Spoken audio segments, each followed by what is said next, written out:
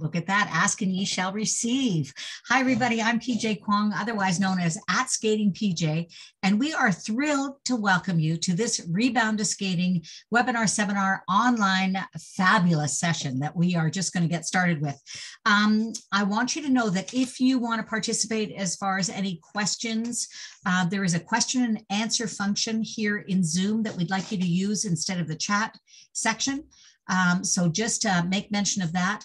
We're going to have uh, details about some prizes. We've got some great giveaways that are going to be happening. Uh, but first, Executive Director Lisa Alexander, I'm going to ask you to open things up and to just let us know what's going on. Thanks, PJ. I am so excited to be here today and I feel like I'm the I'm the least exciting person who's going to be on today's webinar. Um, but I really want to be here to kick off and celebrate the start of the skating season. And let me tell you how great it feels to be saying that. You know, after people's Ooh. patience, the challenges, the stress of getting going, to be here on a good news webinar, talking about the excitement of being back, talking about some new tools. Just could not be more excited. Um, as you know, we still can't all get together in person. So we're, you know, here we are in a virtual format. And, you know, this gives us the opportunity to talk skating, and it also gives us the opportunity to thank the Ontario Trillium Foundation and their funding partners, the uh, Government of Ontario. I think that most of you clubs have seen our Rebound to Skating program and a lot of things, you know, branded under this Rebound to Skating program. And that's been made possible in large part because of some funding that we have received from the Resilient Communities Grant and I really want to thank the team at Skate Ontario that worked on that. That is a big deal, working through those things and getting those resources. So just super excited to be able to share those with all of you and for all of our member clubs and skating schools um, to be able to have the benefit. And really all that funding is going to be targeted at adapting programs, reimagining programs, uh, making sure that everybody, you know, as always, we have the best learn to skating program, learn to skate programs with our Can Skate program. Uh, but this really gives us the opportunity to uh, make sure that we're doing them again consistently so that people know when you are in a Can Skate program that you're absolutely getting the best in every one of our clubs and that they are um, that they're done in a way that's safe with COVID protocols so that people can feel confident putting their skaters in there. And also just trying to make it easy for the clubs. We know you all have enough to worry about, right? Like, yeah, this is really, yeah, yeah. So, yeah, so, you know, like, worrying about registration, worrying about what's going on with your facility, worrying about, you know, all the added protocols is just an absolutely, I, I so thankful for the incredible people that we have all across this province who, through all of that, are working on this return to skating. So we've got a number of tools and you know what we have going on so far is we have a Skate Ontario rebound to skating playbook. And again, the intention here is just make it easy, give you ideas, make it easy. So this is a resource book um, helping people to come back from COVID-19 as safely as possible. Every one of our skating clubs and schools was sent an actual physical copy of that book. And all of those resources are also available online. Okay. We have also sent club and skating school uh, skating toolkits and let me tell you, our office uh, looked like some kind of crazy warehouse for a while there. People think those kits came all organized and just got sent out to you. That was not the case. I think there's still piles of boxes and pylons in there. So again, you know, thank you to the team for organizing and sending all of those resources out. We have our Rebound to Skating webinar series. So a whole bunch of amazing presenters and topics. And for people who couldn't attend those, they're able to see those at any time. They are available on our website. You can watch all 11 webinars there, 11 webinars. You know, so you can imagine, you know, all the incredible presenters there and the range of topics. Yep. And we also have some new video marketing material. And for people who haven't seen it, you know, this is all about how we've adapted CanSkate program to make it to make it safe, remind people how fun it is, and to encourage people uh, encourage people to get back in. And the other thing that uh, I think is great about that video program is we've also been able to have an incentive program for our clubs and skating schools. So you can look on our website for information about that. But basically, just by reposting that video, it's the opportunity for your club or school to earn a $1,000, just straight cash to help with your programs just by showing the video. Yeah. And uh, still have even more upcoming. We'll be working on these resources all the way through until April. You'll see more uh, organization and resources on the website. So I'm going to say uh, stay tuned for, you know, stay tuned for even more stuff. And Lisa, we got to let people know it's a bit of a sneak peek, but we are going to uh, show that CanSkate video here a little bit later on our webinar. So yeah. stay tuned for that, along with all the other surprises. Yes, yes.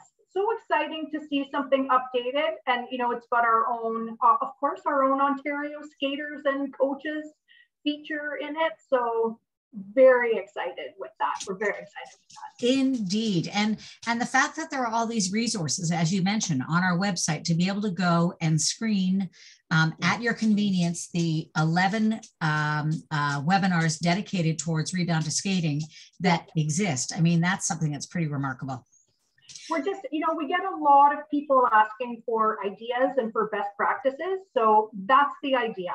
You know, we just want as much as possible sure. to support in every way that we can and to share all those great ideas you know uh, what we always say steal with pride right although you know wow. there's all those great ideas you know what we all love skating those yeah. of us that are here on this webinar, myself included, I mean, it's been my home for a very long time. Um, yeah. So, Lisa, before you run away, how about just a couple of words about um, uh, getting to this point and what that means to you? Oh, it is I think, like lots of people, this is, I think, still very stressful and very challenging. Yeah. But wow, am I happy to be dealing with stressful and challenging stuff that's about coming back to skating.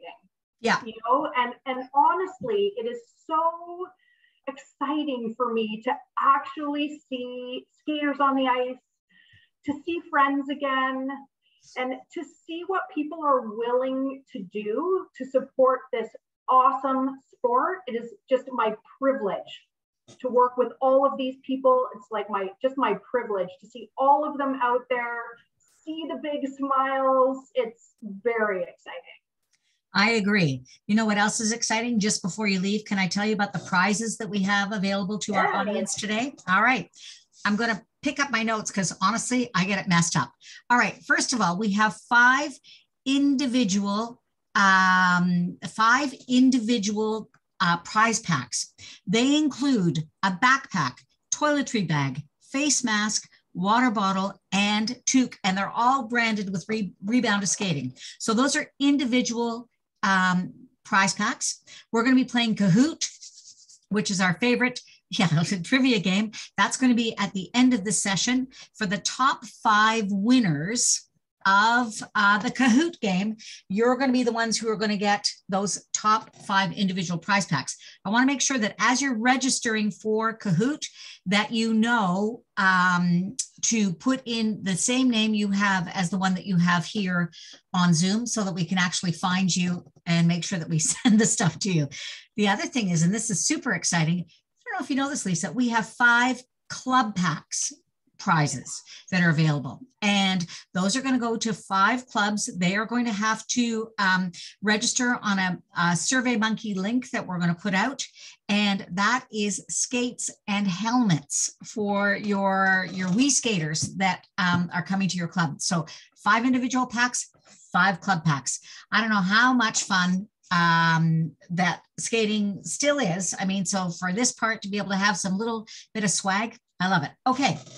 We are going to go right now to our CanSkate video ad that you talked about, Lisa. And that ad um, is something that was um, already shared via um, um a newsletter that went out to all clubs. There's a link embedded in that newsletter where you can access the video for yourself and then you can share it please. Um, clubs can share it, people can share it, anybody can share it, because uh, we want to get the word out that um, um, skating is where you want to be. That's the sport, people.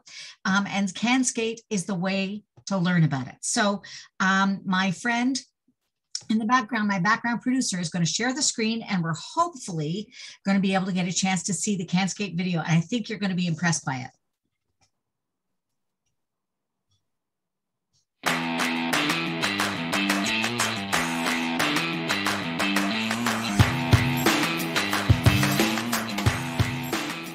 Skating is a part of being Canadian, and Can Skate is back. Can Skate is the go to program for skaters of any age and any skill level, offering engaging sessions with qualified coaches. Our Can Skate Excellence program recognizes clubs and skating schools who meet and exceed program delivery standards a lot has changed since the last time we saw you, but don't worry, we're ready and better than ever.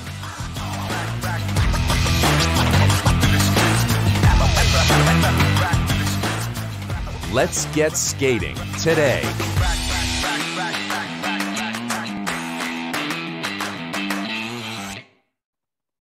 Okay, doesn't that look like fun? Yes, it does. I love it. So you know what, Lisa? I know that I keep dragging you, and I know that you're probably trying to sneak backwards away from the camera. And I know you got lots of stuff to do, but you know, there's something else that I want to talk to you about, and that is our high performance athletes. I don't know if you've heard, there's an Olympic Games coming up in about four months' time. Did you know? Oh, no, yeah. I know.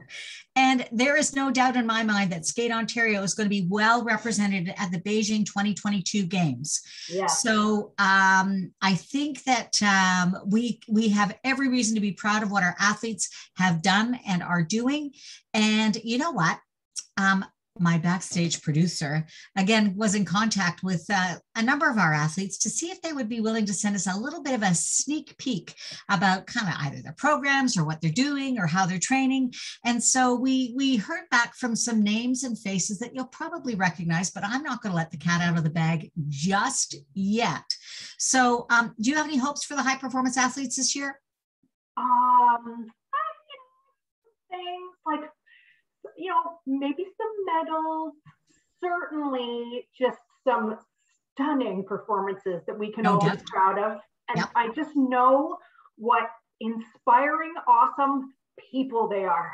Yeah, you no know, doubt. yeah, when you, you know, you've seen, you know, like all of their help, the engagement that they've had in doing seminars, you know, for talking to our other younger skaters over the last, like that tells you what kind of people they are.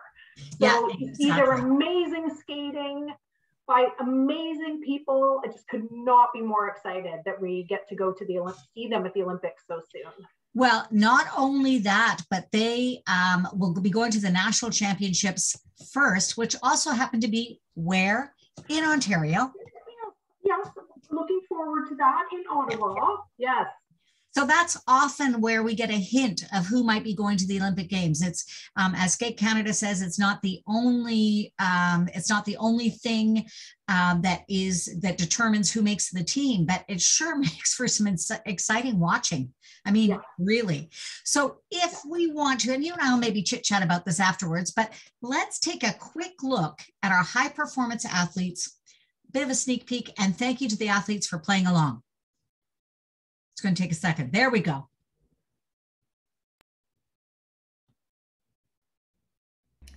Hey everyone, it's Gabrielle Daleman. Just wanted to say welcome back on the ice. I love skating in Ontario. I've been skating here my whole life. It's so great. There's so many wonderful coaches, rinks, and it's just absolutely beautiful. I hope you guys have a great time back. And to get you excited and motivated, here's a sneak peek of one of my new programs.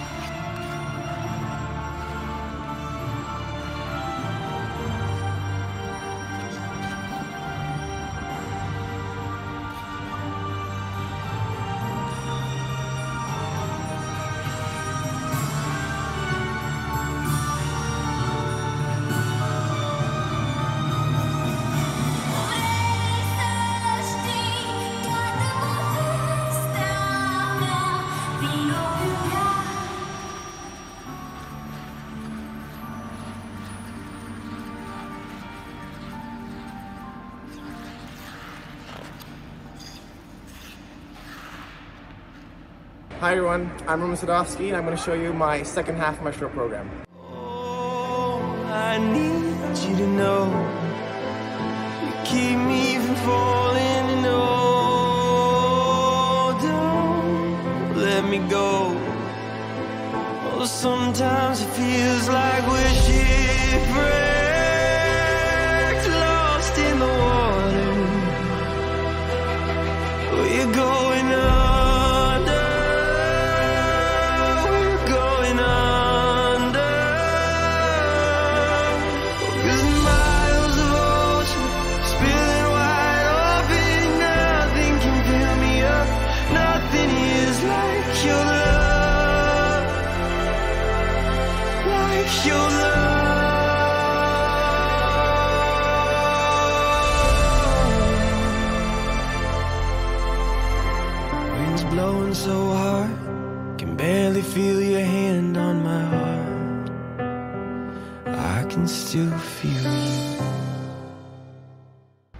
Skate Ontario, it's Piper Gilles and Paul Poirier.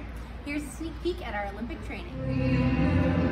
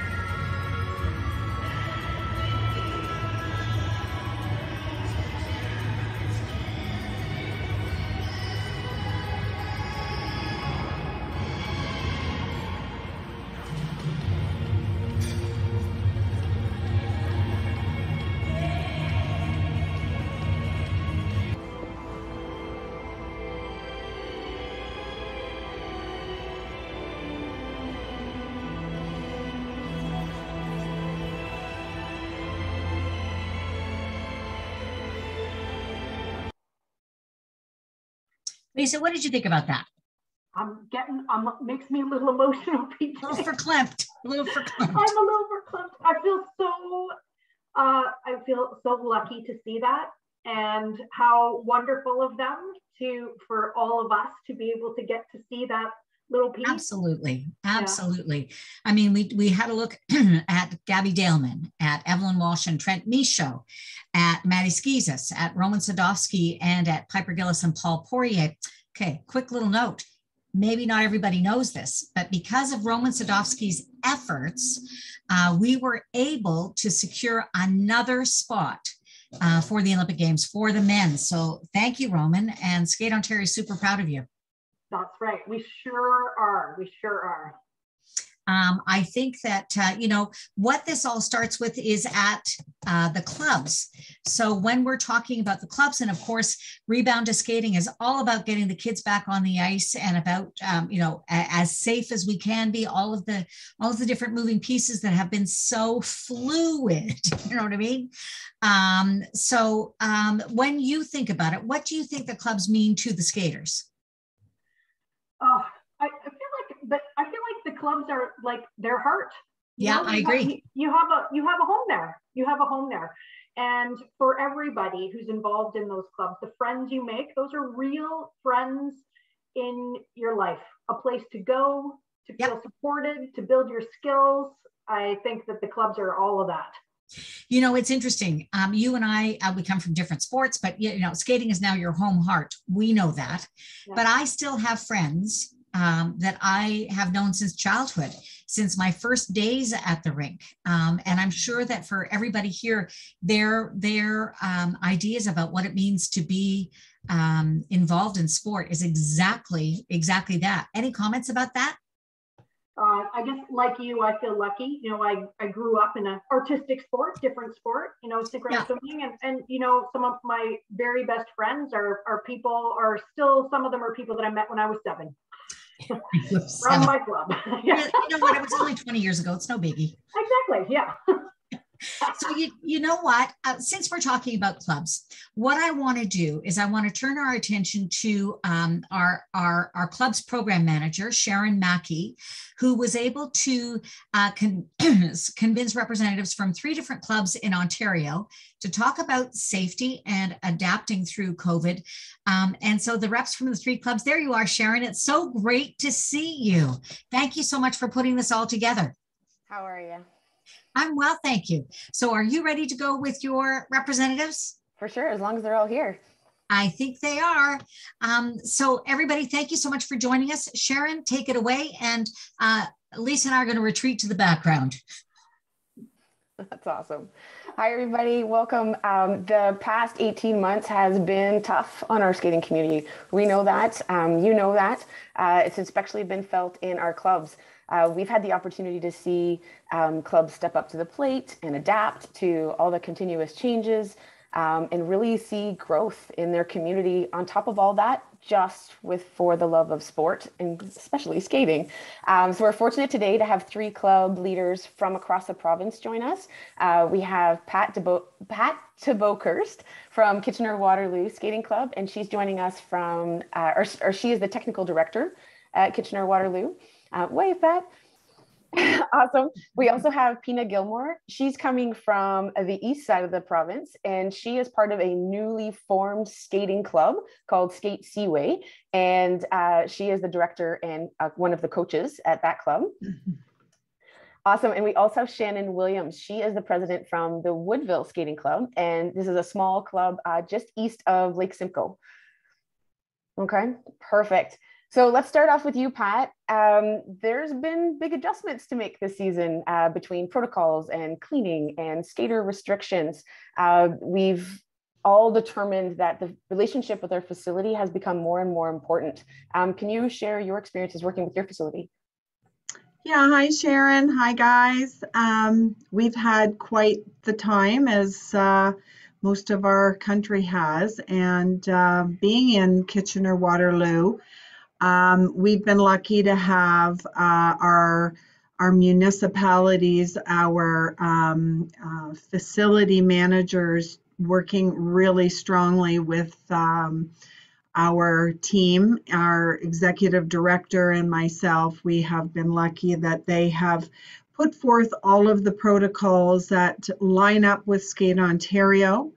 Um, because they are two different cities within our um, uh, region, Kitchener and Waterloo have been um, somewhat different in their approach to the time in between uh, sessions and what have you, but we've been able to manage to uh, set our schedules accordingly. And uh, of course, all of our coaches and staff have been um, in line with all of us as well, working hard to make sure that um, we can bring everybody back safely. And we've been able to do that um, really well. So we're we're happy and so happy to be back on the ice. That's really great. That's really great. So for you, Pina, you're a coach, um, but you're a coach of a newly established school um, your there was extra importance for you to have start a relationship with your municipality. How did that go? And do you think that the future of that relationship will be in a good place? Uh, our community actually lost our skating, our Learn to Skate program uh, back at the start of the pandemic. So our municipality was uh, looking for uh, somebody to step forward and uh, run Learn to Skate programming in our area. And um, they were thrilled when a, a, small group of volunteers came forward and said, hey, we're willing to, to give it a go. So uh, here we are. Uh, they were looking for programming that was uh, inclusive of all ice sports and not just um, hockey, because uh, we are a hockey community.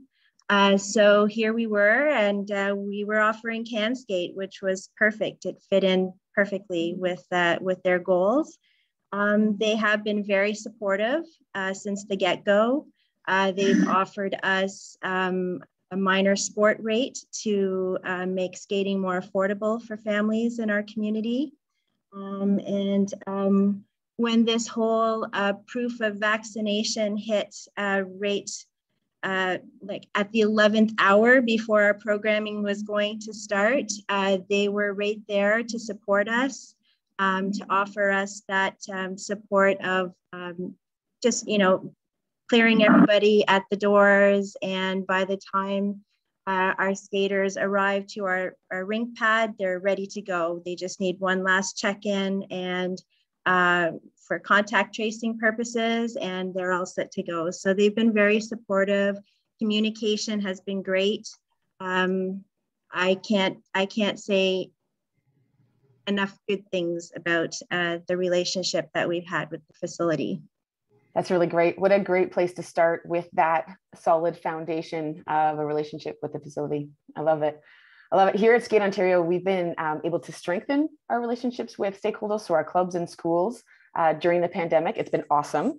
Uh, the use of virtual platforms has definitely helped that um, as it's been able to shrink this really big province into something where we can actually reach um, all areas geographically in the province and even the little clubs and the big clubs and that kind of thing. Um, it's been really great experience to kind of be there to open up the lines of communications and create those new relationships. Um, Pat, for you, how has virtual platforms uh, changed your day-to-day operations in your club? Well, that's a good point. Um, we've we've got a massive um, staff of of coaches, and um, of course, um, keeping them um, connected with their skaters and can, keeping them connected with the sport of skating. Um, they have used that platform ongoing, and I've been able to tap into things like coaches meetings um, you know, they were always fairly well attended, but I honestly can say that they have been 100% attended because Ooh. of the virtual um, the virtual meetings that we hold. And not only that, um, I've been able to set up parent meetings um, for our new up and coming um, kids out of CanSkate moving into Group Star and moving beyond into the Star 1 2. We don't always have the time to be able to explain how our sport works and going through the LTD with parents. Um, I've also been invited to sit in on coach parent meetings over the summer and many of them uh, in the evenings where you know we've been able to sit down and go over what would be normal coming back to our, our uh, September fall season and how we would like to see the skaters move into the different uh, sessions. Uh, we'll get into a little bit more about how we have been formatting our sessions, but um, just giving them an idea of where they best fit into our new getting back to normal sessions. Getting back to normal, that really is the theme, yeah. isn't it? Yeah, I love that. I love that uh, you're able to essentially expand your reach with your community just by having those meetings and sitting in and that type of thing. That's yes. really great, Pat. Um, Pina, so your skaters had access to new opportunities because of virtual uh, platforms. Can you expand on that? Oh, you're just on mute, Pina. Sorry about that. Um, when the when the pandemic first hit, we at first thought it was just an extended March break, and um, it was an opportunity to take a break from school and the ice. Um, but then it started to go down um, a very uh, dark. It was starting to go into a dark place. So uh, with platforms available to connect with the kids. Um, it was a nice opportunity as a coach to just connect with my students to see where they were where they were at. Uh, we used the opportunity more as a self-reflection opportunity. So, you know, we're missing the ice, we're missing our skating, but what is it about the ice and skating that we miss? And, you know, when it was friends, then we found opportunities to connect with our skating friends. And uh, we did little exercises and activities um, to, uh, to show that even though we were isolated, when we brought our work together, uh, we were connected and we were together and we were able to share that with our, with our peers. Um, if they were worried about their progress, then we found opportunities to use that as an off-ice training experience. For our little ones, we knew that going back to the rink might look a little different. So we took that opportunity to teach them how to lace up their own skates um, and to get themselves ready, how to pack their skate bag. Um, how would that look if they were heading off to a competition or, or an assessment day? So we, we did that. And then we just did some fun, silly stuff like, you know, draw your favorite jump and turn it into a character. So that was a little fun exercise and experience. So I hope you, you know, just finding ways to just connect and to stay healthy uh, mentally. It was good for them. I know it was good for me. So, um, you know, moving ahead, um, I think it's still a resource that I'd like to continue using with my students, just because there's never enough time at the rink to do those things. So this is a great mm-hmm. opportunity to connect with families, to connect with our skaters, and to use that time away from expensive ice to to to use that time uh, to grow as a person, to set our goals, to grow. I love it the uh, opportunity to continue is phenomenal. We um, we sometimes talk about the changes we did last season, but so many of them will continue. We've learned so much, um, and that's certainly a really good point about how you've talked about how it's something that you can continue that will help your skaters move along with their development. I absolutely love it. So virtual pathroom, uh, excuse me, pathways um, have different options, and a lot of it's surrounded by communication. Um, Shannon, I haven't forgot about you. Uh, we, uh, for yourself, you guys have changed or increased uh, the amount of communication you've done because of um, the last year. Can you expand upon that? Yeah, absolutely. So uh, it has made us be more in contact with uh, not only each other within the, the skating club, but also with our members because you have to let the families know what's going on. The changes were so fast and so often, I feel last year. You just you had to keep in constant contact with your families to let them know what new protocols were and what was expected of their kids at the rink and so on and so forth. So that was really great um, because it, it it made us do that, right? It, it's uh, different when it's a regular season and you're just like, well, I'll, I'll catch that person at the rink on Tuesday night. You couldn't do that anymore. So we had to, um, we just had to make the best of what it was. Um, and it, it was great because it also made us realize how important the social media aspect of of your club is. It's easy to forget about it um, because the club just kind of takes care of itself in a normal busy season. But the last two years hasn't been able to do that. So so that's been wonderful. Um, it's made us keep more up to date with our social media as well, which is uh, which is always a bonus. Yeah, it's awesome. You can uh, go visit club sites, and some of them are full on current and up to date. And other times you go and you're like, oh, we may have forgotten. So if we want them to keep coming back, we should probably make sure that we keep it uh, current. Um, I absolutely agree. And it's one of those things that goes first, right? Because we take care of the skaters and on the ice first. So I agree with that. That's awesome. So keep in touch with our members and ensuring that they have the information um, also helps instill really solid relationships um, because we can show the communication goes both ways. Uh, it's great. So we mentioned the word adaptability multiple times today. Uh, it's certainly been the name of the game for the last 18 months. Uh, we've all made changes in our personal day-to-day uh, lives as well as the way we operate clubs and schools. Um, let's hi highlight some of the stuff that we did and how we adapted last season. So Pina, I'm gonna start with you. Um, can you share impactful changes that you made in your area?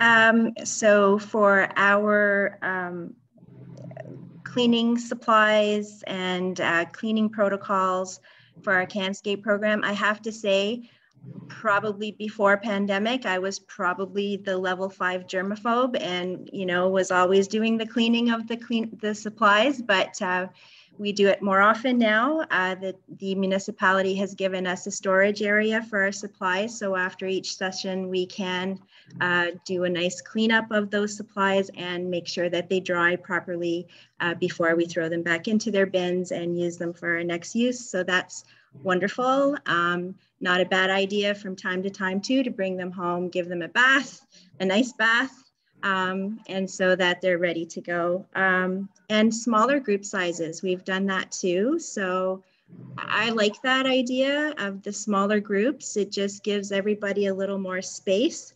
Um, it's not as intimidating for the little ones to be on the ice with the, you know, kids moving fast around them. It can be scary. So now the small group sizes gives them that comfort.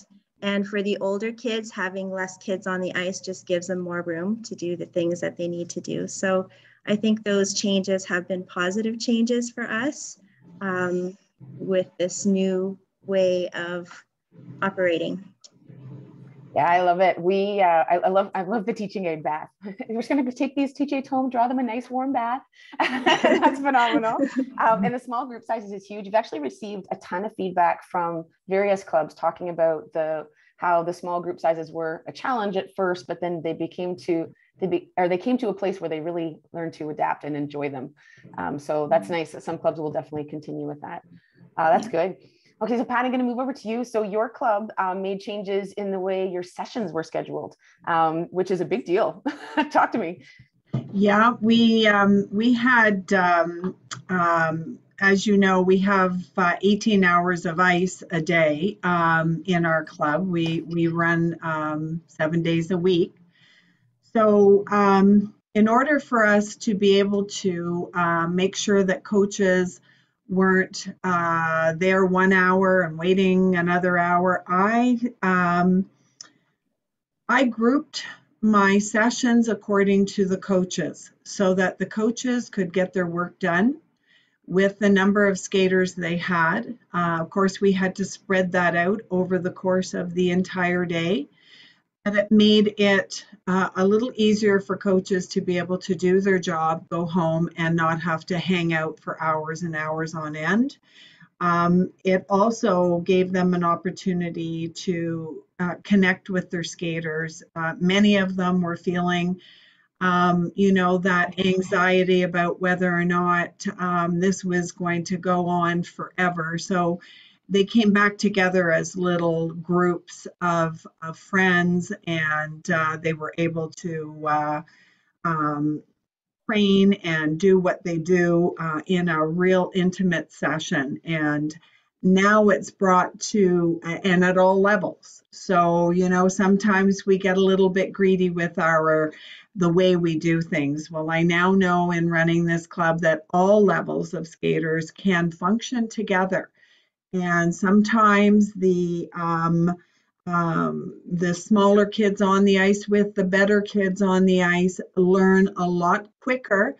And um, the older ones can adapt a little bit more and help those uh, smaller skaters achieve some of their goals. So it's been it's been quite a wonderful um, pathway for for us and we've been able to maneuver that. We've kind of gone back to somewhat normal now, but um, we we are all marrying together quite nicely at KW, I must say.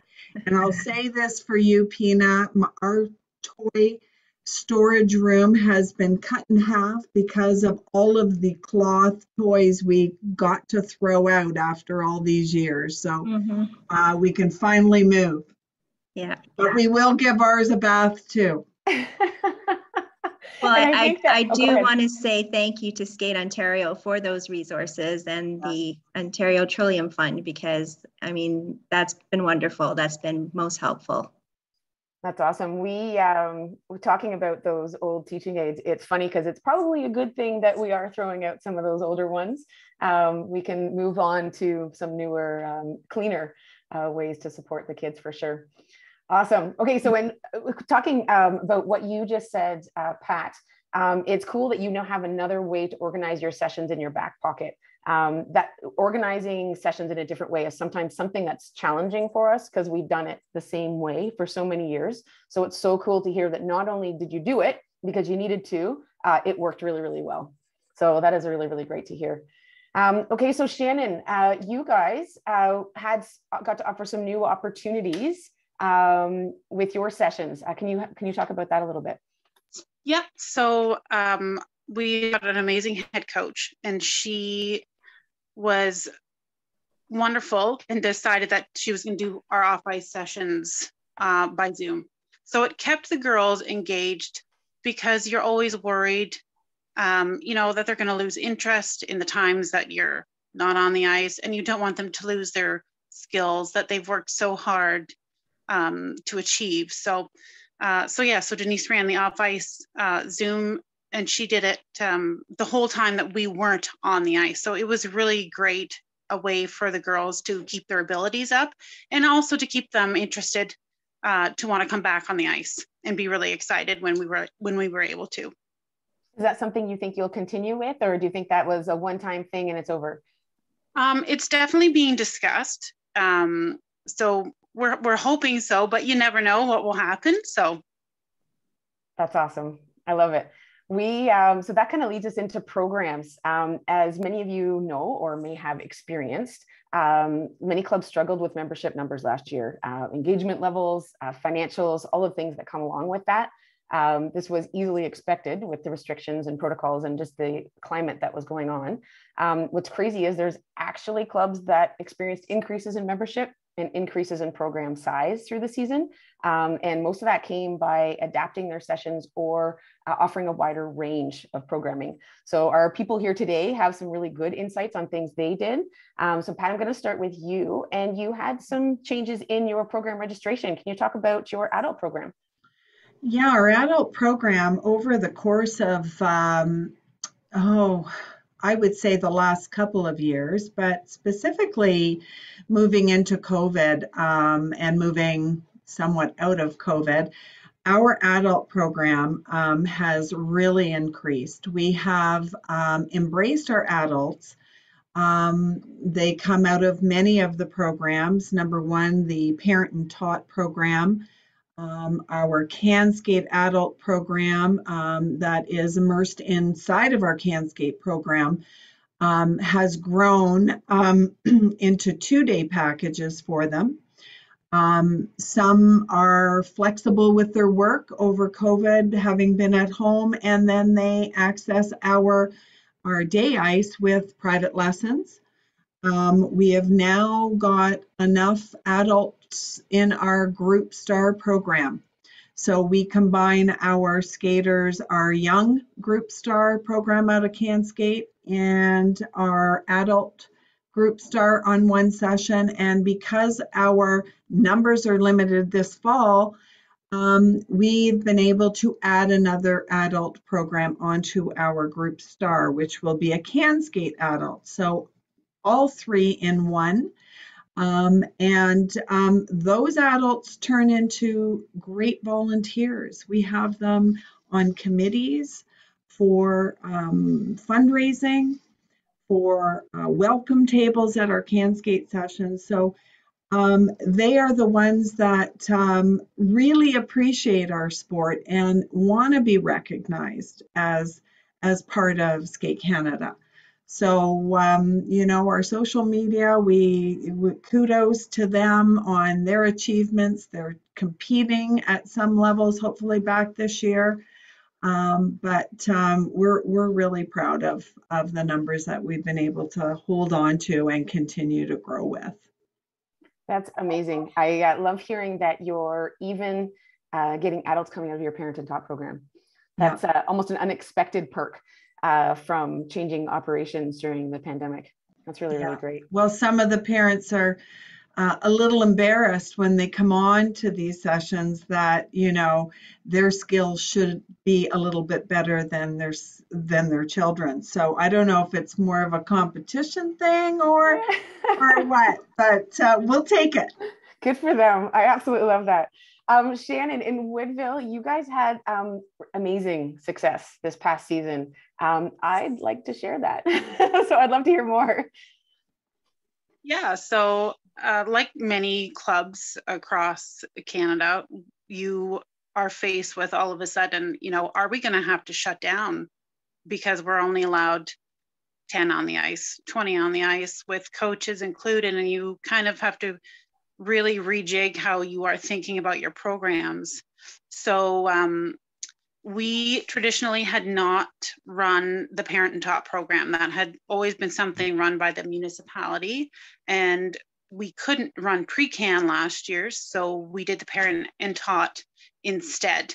Um, so that was amazing. It was such a great way for uh, the kids to kind of get a little bit more individual attention. Um, and uh, also, sorry, I've got somebody interrupting me here.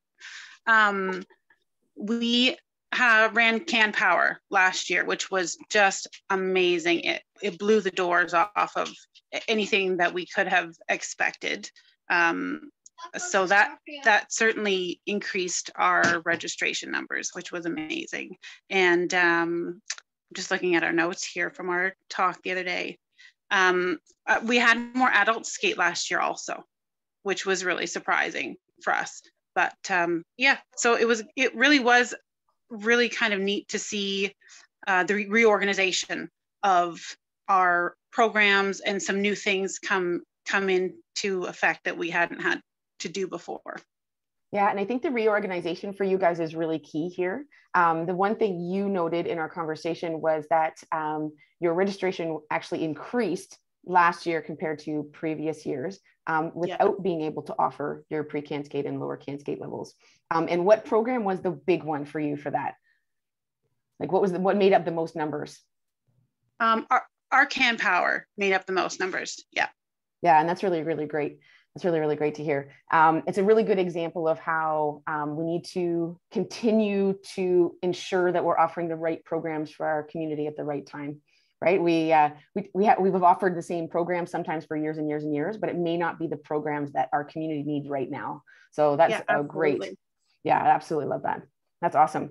Okay, so before we close our segment, um, let's that was a huge positive. Um, let's uh, finish with a couple more positives. Um, so Pat, what do you think? Um, you shared some really cool stuff already. Um, do you have anything else to add about positive from last year? Well, we taught our skaters how to knit. Um, last Christmas, we had a knit with challenge with with a network of callers that we we uh, engaged in over COVID.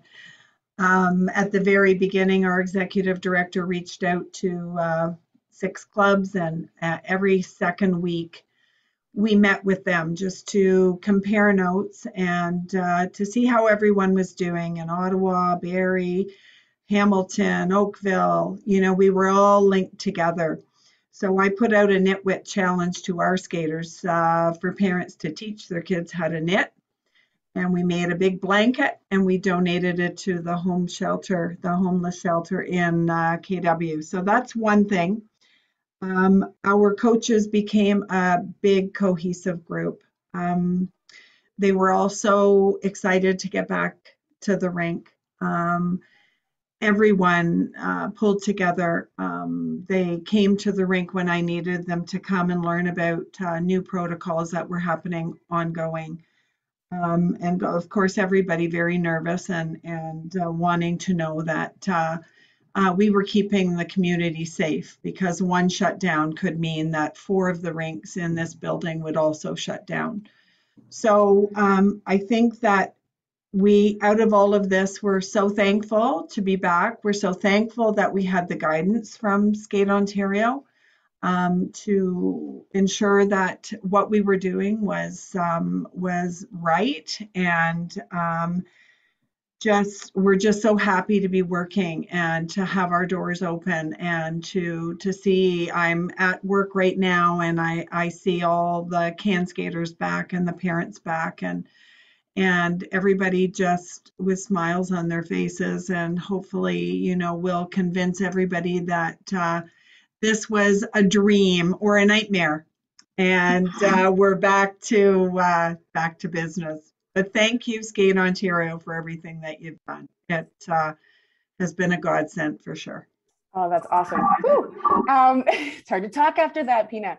Uh, we uh, we really love that um, everybody's back on the ice. Being able to see skaters um, and their coaches back to work um, right now is so so so good. Um, Pina, for you as a coach, um, what are your takeaways from the year? I think the biggest positive that I've noticed is the fact that we get to showcase to everyone how wonderful this sport is and and how much we learn. We're not just there to learn skating skills, we're there to uh, learn life skills. And it's just been wonderful to show that we are a disciplined bunch. Uh, we live by rules in figure skating and, and skating, and um, our kids are learning that from a very young age, uh, following circuits, following signs. Uh, so getting used to pandemic rules was not a far stretch for our skaters or our families. And um, it's it's really nice to see our young skaters leaving the facility and actually thanking the Zamboni driver and thanking the security guard and thanking the front desk clerk. It's just wonderful. They're they're grateful to be back. They're grateful to be somewhere where they feel like they belong. And for some, this is their only opportunity to get out. So, you know, it's wonderful. It's just nice to see that they're just nice people. We're, we're, we're nurturing nice people and they're not just there to learn how to skate, but they're there to learn life skills and to be responsible. And, and it's just, I'm proud of our sport for that. Oh, that is amazing. It sounds like you're doing a great job, Pina. uh, producing Fine. young people to uh, be respectful is, is a really big deal in any uh, walk yeah. of life. And sport is really a good place for that. Um, we've definitely have proven that in the past, and it's so great to hear that um, this year has accentuated that for sure. Um, what about you, Shannon? What have you got? Um, we, um, sorry.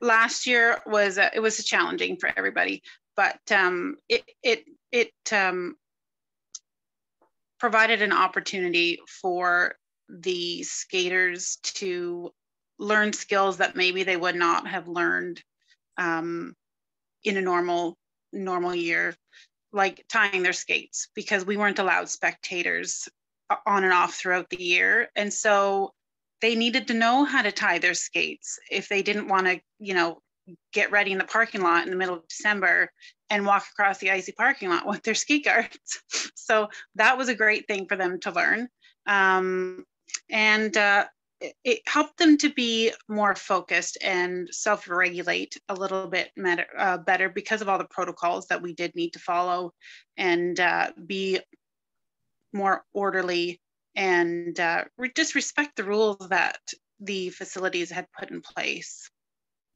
Mm -hmm. Yeah, and it's it's interesting because it's real when you talk about things like tying your skates um, and the skaters being able to uh, gain that responsibility and independence on their own, um, maybe earlier than they may have in the past, uh, is really, really mm-hmm. good. I love it. Well, thank you, ladies. Um, this is the end of our segment, but we'll just check to see if there's any questions that have come in. Let's see in here. Does anybody have any questions for our panel? PJ's back. I was always here. I was listening to everything. what great information, oh honestly. I don't see anything in there. So with that, I'm going to thank you, Pat, and thank you, Pina, and thank you, Shannon. Um, we very sincerely appreciate you taking the time to share your experience with us. Um, it's been a great pleasure working with you and all the clubs across the province um, during this crazy, crazy time. Um, I really feel our relationships have strengthened and there's uh, bigger bonds than there ever were. Um, and I do believe our skating community will come back stronger. Sharon, I like the way you think. And um, you're right. Skate Ontario thanks Pina Gilmore, Pat Bokhurst, and Shannon Williams. Your information and Sharon, the questions that you asked in order to be able to elicit the information were just fantastic. I can't think of a club um, or even a skating parent or even a skater out there that wouldn't have benefited from this information. So thank you, thank you, thank you. Thank you, guys. Thank you. Thank you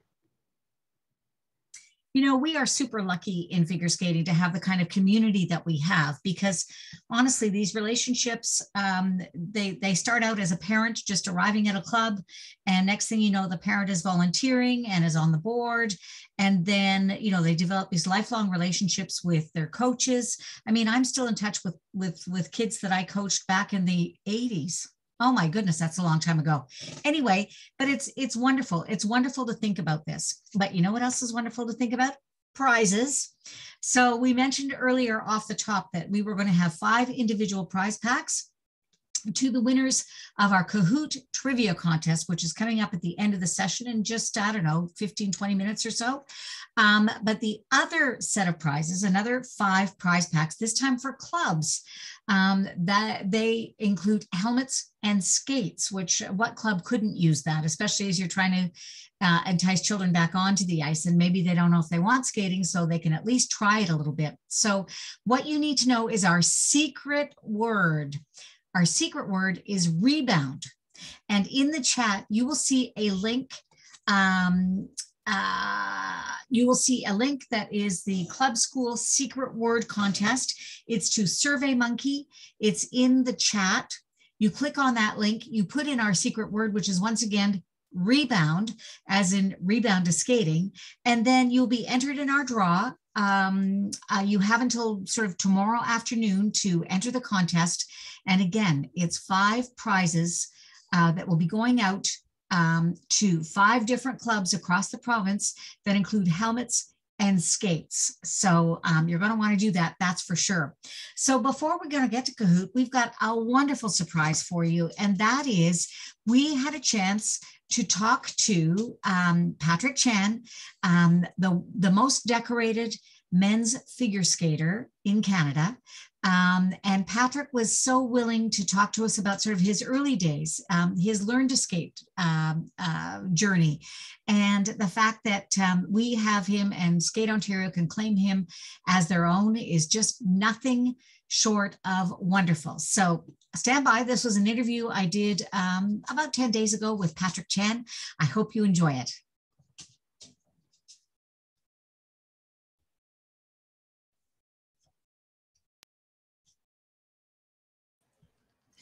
Guess what, everybody? I am super excited to introduce who's here. You know what? 10 time Canadian champion, three time Olympic medalist, three time world champion, none other than my pal, Patrick Chan. Whoa, cue the applause. Patrick, how are you? Good, thank you. Good, thank you. It's so great to have you here as part of our Rebound to Skating event. I know how busy you are, so thank you for taking the time. I'm going to jump right in. Okay. Tell me about go way back. Um, tell me about your start in skating. Like, uh, was it CanSkate? Uh, mm-hmm. What do you remember about it?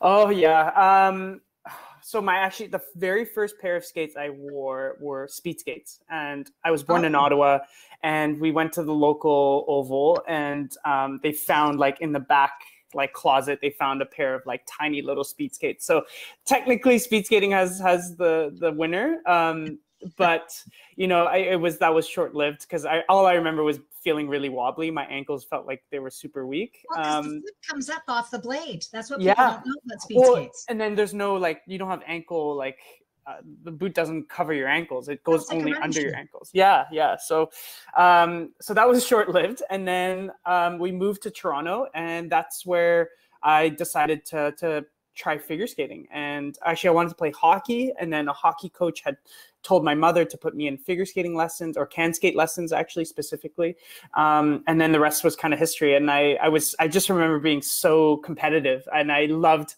i don't know what it is nowadays but back in those days we had the stickers like the the skate canada CanSkate um, uh, badges and yeah. they were i thought they were like beautiful and they were like so cool and like some kids would walk in and their skating bag would have like like six of them and you're like whoa they're like they're super advanced and then um, so my goal was to like i was very um, uh, reward oriented and i wanted to get all the badges as fast as i could and uh, i kind of cruised through all the levels and yeah you know, it's so interesting. You know, as you're talking about going way back, and I want to find out how you think CanSkate has influenced your career. But before that, figure skating. What captured you about skating? Aside from the badges? uh, it's so hard to t- so hard to say, but I think it's being an only child. I think I was. Um, I, I, had maybe a little more. Um, I had to be a little more creative, a little more like entertaining myself, and I think I love the aspect of um, just you being in control and uh, and having the freedom to do. You have this huge piece of ice, and it's like a blank canvas and you can literally go as fast as you want. You can throw yourself in the air. You can do some spins. Um, so I think it was just the, the freedom um, and and the freedom to be creative. And um, yeah, I just I, I, never leaned towards team sports um, initially. Um, so it was it was just a lot of fun for me. It was just such a fun challenge, and honestly, I I probably owe it to to those uh, PA assistants and um, you know those coaches at the CanSkate program because they kept it fun and really entertaining. You know, you talk about the sort of the, the joy and the freedom and the creativity. Are there ways in which you think that you know our CanSkate program um, and and the way that it's delivered in clubs, um, especially when you were a kid, how that has influenced your skating career? Oh, like it's the beginning of of it all, and uh, it's it's so easy to overlook such a crucial time in, in a skater's development or an athlete's development. And I have such a tremendous respect for for coaches and teachers because it's it's a skill. It's not easy, and and I now in the shoes of a coach um, from time to time. I just I have um, so much more respect for um, how you deliver the message and how you can relate it to a young athlete or a young skater.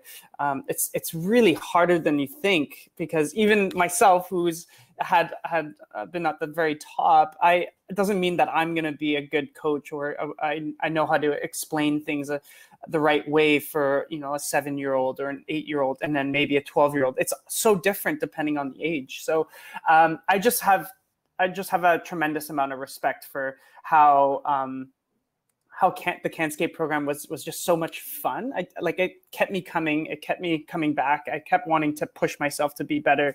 Um, so I don't know. I can't remember. Obviously, I was a bit young, too young. I can't remember a specific coach or a specific lesson. Um, but I just remember like wanting to come back the next day right away and, and get the next badge and and pass the next level. Um, it just made it very satisfying and and um, thrilling, really.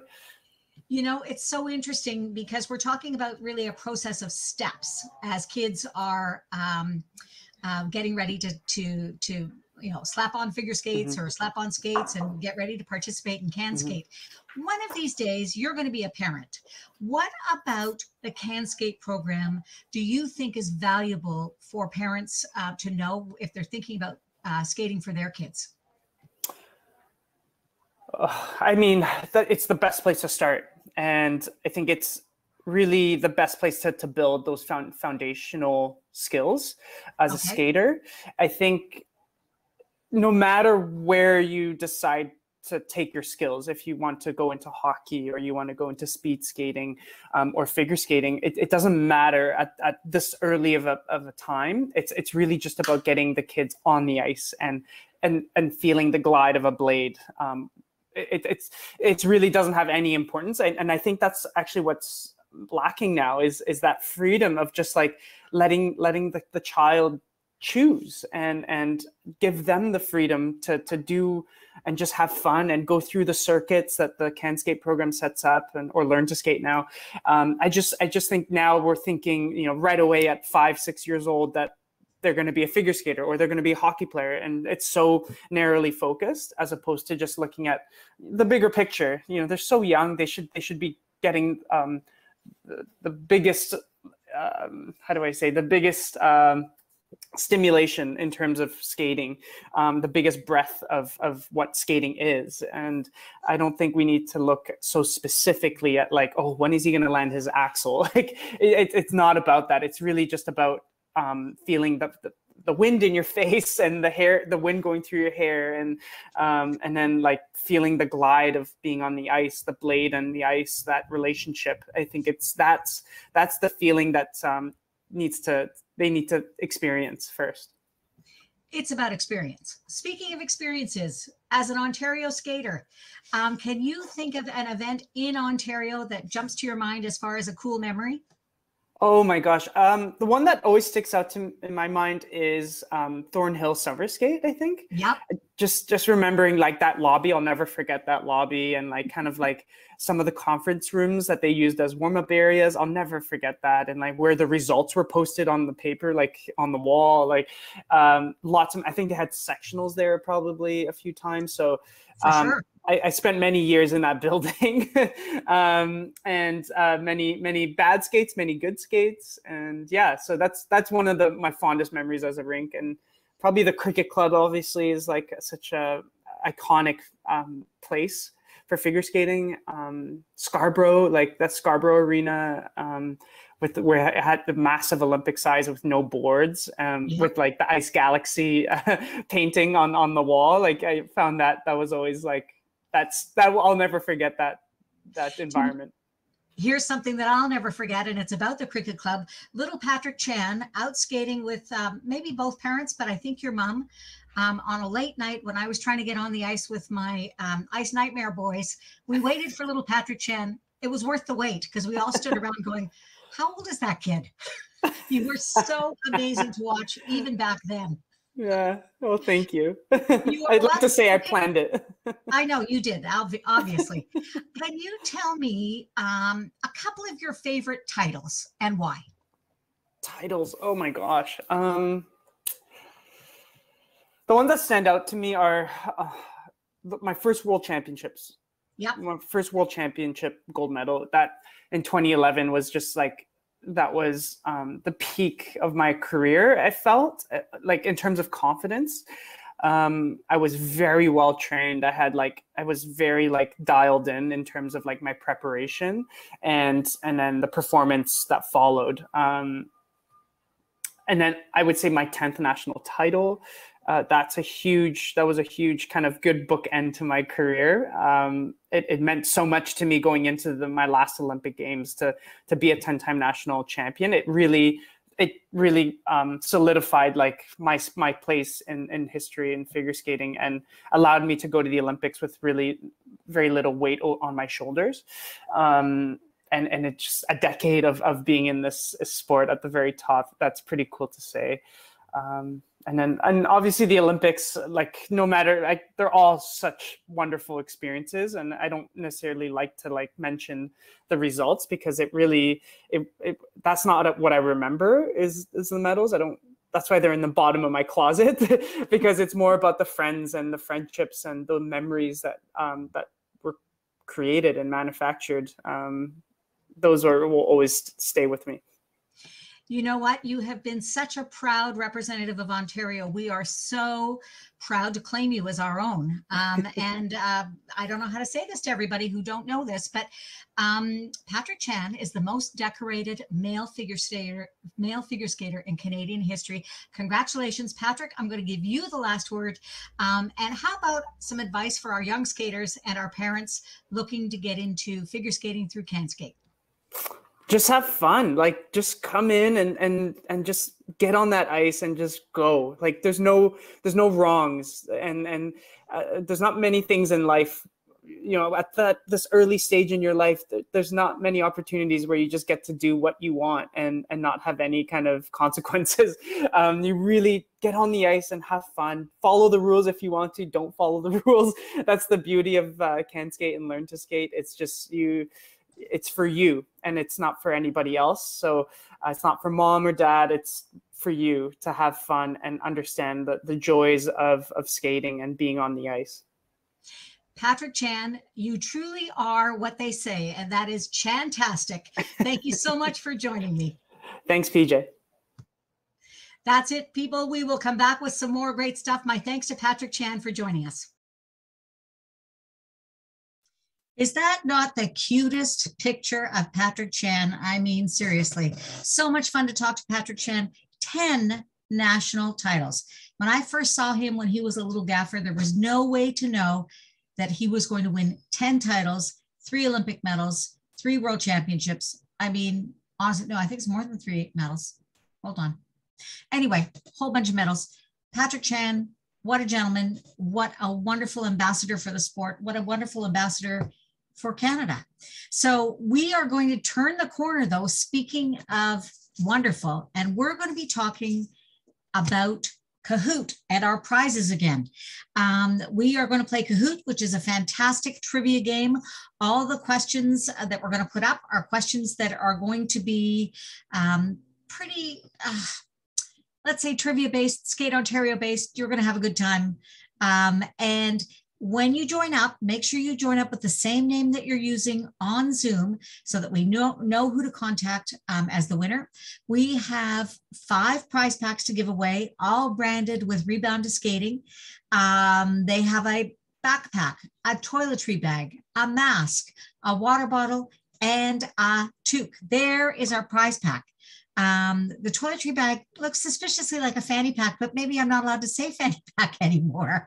anyway, it just means it's one of those um, uh, bags that you can take anywhere. I used to know a coach who used to bring all of her safety supplies, like extra uh, safety pins, um, extra band aids, little things like that in a bag just like that, and used to be at the boards uh, with her skaters when they were competing, and she always had everything that you could possibly ever imagine.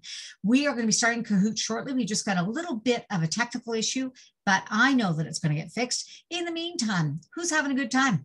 I am. Who else is looking forward to getting to the rebound to skating? You guys are as well. I know that everybody's so excited to get back. Um, and we're going to take a look at our Kahoot screen. It's very easy to do. You just have to go to, um, well, we're going to find out in just one second. Um, and we've got a series of 10 questions, and then we're going to choose the top um, uh, five winners. So go to kahoot.it, or if you have the Kahoot app on your phone, you can use that as well. You've got to put in the PIN number, and the PIN number will put you into our game. So we're going to wait for some players to join. Um, I join, except that then I'll win for sure because I know all the answers. Um, but we want to make sure that you go to Kahoot, K A H O O T dot I T. Um, and then you're going to put in your pin number. There's Kevin. Great. Kevin, Skate C, that's that new club that we were just talking about. TBSA I'm not sure if that's a person or a club, but it's nice to have, it must be something skating academy. Anyway, great to have you here. We got two people. Who else is going to join us? Melissa Groves. Great. Glad you're joining us here. And then we've got Melanie. And remember, your names, uh, if they are as they appear on our um, uh, Zoom background, then we're great. So Rose Artel, Kay Cartwright, this is fantastic. We're looking for a few more players to get started. And remember, you're going to be playing for one of our fantastic gift packs backpack, um, toiletry bag, but I like to say sort of fanny pack, but that's okay. Um, and then a toque water ball, what toque water bottle, and what am I missing? Face mask, all branded. Deborah's joining us, YCS. We're going to start in about two minutes time, uh, which will put us at about 322. Alana Hermans, thank you for joining us. YCS, thank you for joining us. Pina, you did such a great job with your um, uh, presentation. It's so great. It's so great to have you here at Kahoot. Remember, what we're doing here at Kahoot are the five individual prize packs. If you are a club or representing a club and you want to access one of our club prize packs, which are helmets and skates, then you're going to go to our chat.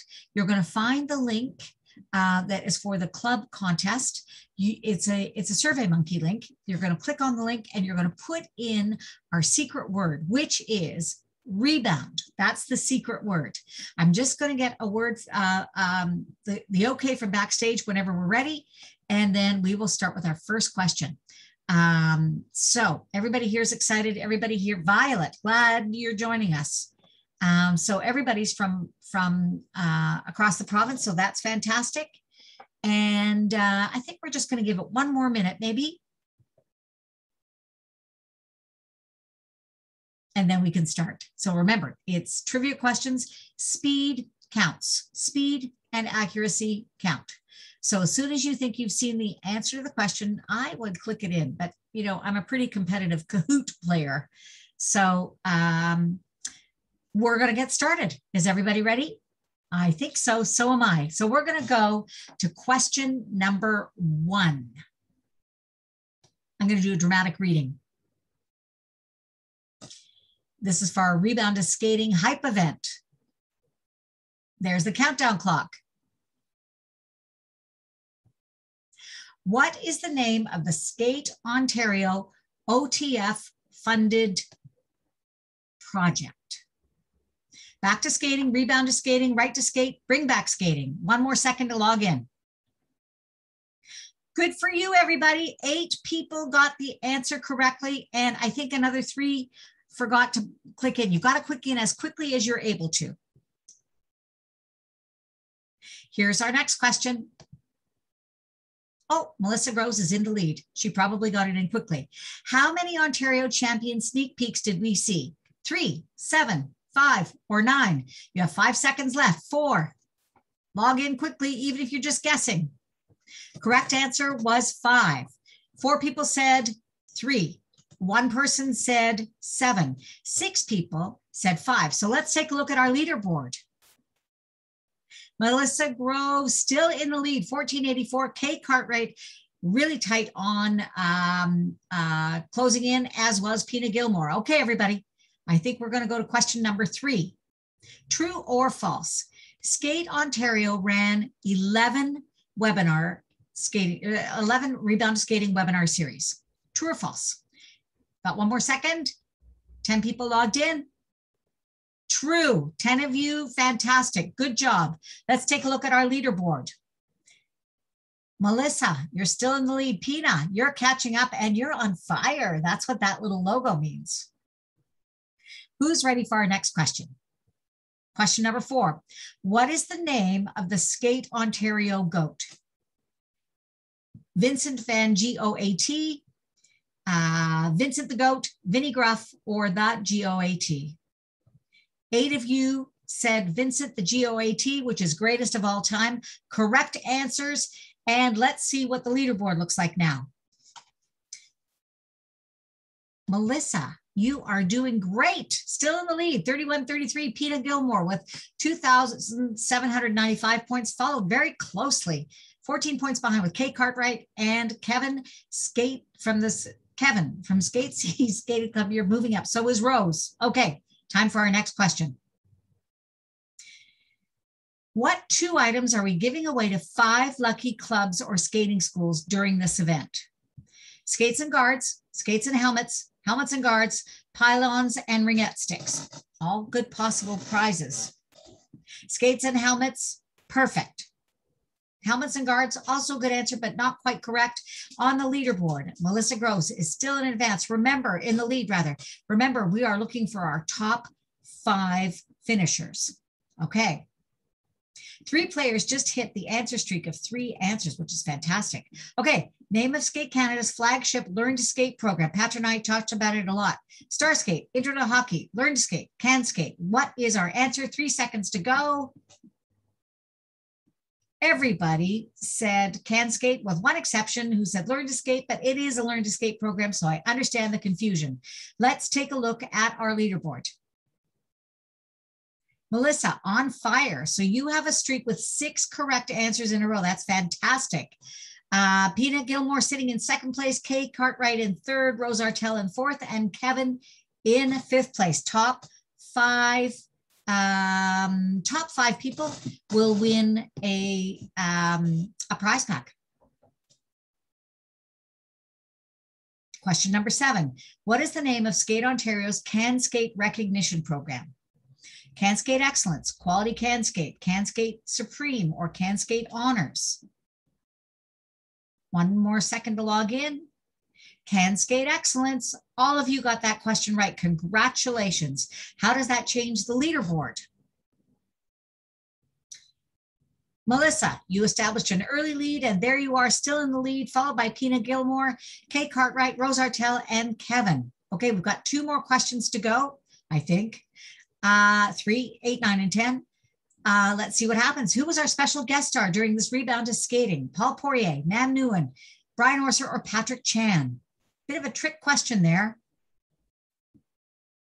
Patrick Chan. But if you remember, we also saw Paul Poirier in the sneak peeks. So uh, congratulations to everybody with the correct answer of Patrick Chan.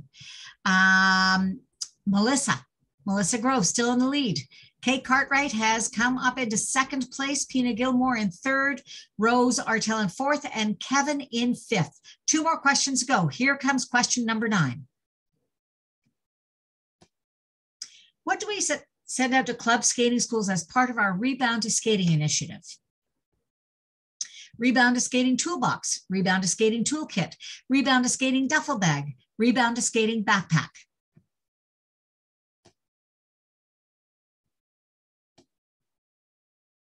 Rebound to Skating Toolkit. That was a bit of a tricky one. The language was very close. Okay, Melissa, you have the highest number of answers with a streak of nine correct answers, which basically means all of them so far. Uh, Pina is in second place. Kevin, you've made the leap into third place. Congratulations. Kate Cartwright, you are sitting in fourth, and we have a new face on the leaderboard. Melanie, you are sitting in fifth place. Let's go to our final question. This is winner take all. Well, not really, but this can change things. Where are the 2022 Canadian National Championships scheduled to be held? Toronto, Ontario, London, Ontario, Ottawa, Ontario, Hamilton, Ontario. I know we mentioned it once. You got two more seconds to answer. Ottawa, Ontario is correct. So let's take a look at our podium. Remember, top five finishers. Kevin, you are sitting in third. And in second, Pina Gilmore. And in first, Melissa Groves. Congratulations to everybody who played. Our runners up, Kay Cartwright and Rose Artel in fourth and fifth place. You will each win a fabulous prize pack.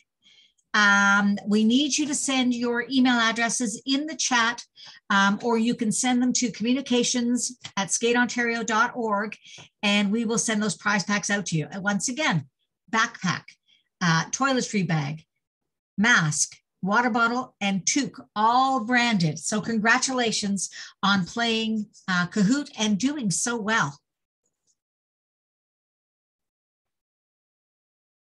So we need email ad addresses from Melissa, Kevin, and Rose. Um, you can either put them in the chat um, or you can send them in. Great, you've put them in the chat. Thank you so much. Thank you everybody for playing. Um, so in closing, this uh, brings our session to an end, and I want to thank the Ontario Trillium Foundation and their partners for making this session possible. I, I also want to remind everybody that you go to our website, skateontario.org, you look for our RTS or Rebound to Skating pages where you'll be able to find resources, uh, those 11 those 11 webinars that we talked about in replay and all kinds of information. You have been a wonderful audience. Thank you so much for joining us and thank you for watching. I'm pj kwong. Bye for now